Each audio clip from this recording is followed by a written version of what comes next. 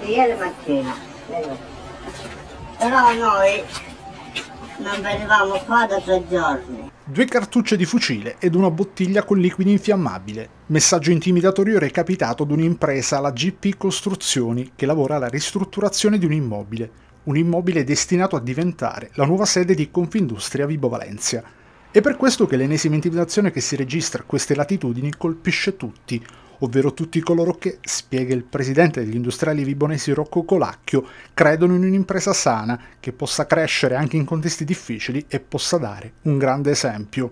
Centro storico di Vibo, nei pressi della Chiesa del Rosario, un immobile acquistato nel 2009 che Confindustria decide di ristrutturare. Lavori per 60.000 euro, inviti a partecipare, buste sigillate, lavori aggiudicati alla migliore offerta. Insomma, malgrado non sia un appalto pubblico e tutto ciò non fosse dovuto, massima trasparenza. Ciò perché questa nuova sede deve rappresentare qualcosa di diverso nella terra che non può più essere quella della corruzione, dei favoritismi e delle scorciatoie, sia simbolo di un rilancio, di pulizia, di trasparenza, di voglia di fare e di crescere anche in una terra difficile, un simbolo adesso anche di resistenza contro la protervia del racket, in una città nella quale, sin dal nuovo anno, il racket non ha dato tregua.